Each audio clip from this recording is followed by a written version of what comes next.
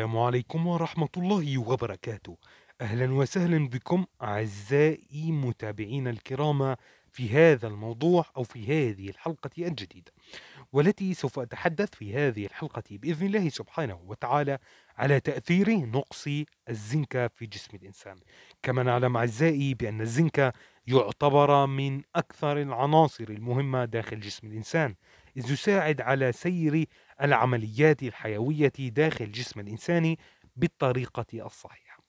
كما نعلم إذ نقص الزنك الشديد في جسم الإنسان سوف نتعرض لعدة أعراض.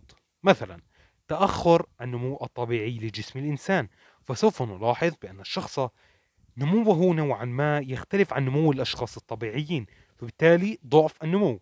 إضافة إلى ذلك الإسهال وأمراض العين والجلد والشعور بالخمول.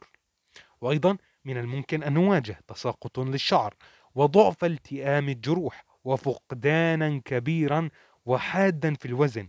ومن الممكن أعزائي أن نشاهد بعض المشاكل النفسية كالحزن المستمر والاكتئاب والمشاكل هذه.